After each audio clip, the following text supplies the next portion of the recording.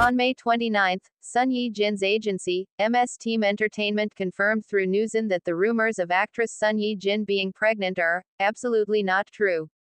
This is the official position from Son Ye Jin's side on the pregnancy rumors raised on the morning of the same day.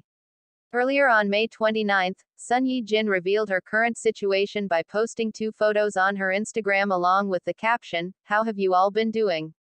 Enjoy your delicious lunch and have a happy weekend. In the released pictures, Son Ye Jin is seen enjoying her leisure time while walking her dog. A netizen commented, Her belly grew big. Congratulations on your pregnancy, sparking rumors of the actress being pregnant.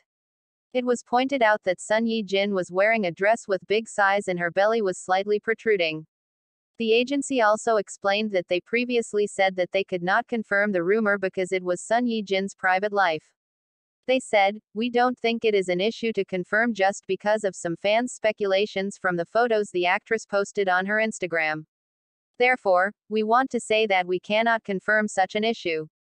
Later, as the pregnancy rumors spread like a fact, they issued a statement to say that they were completely not true.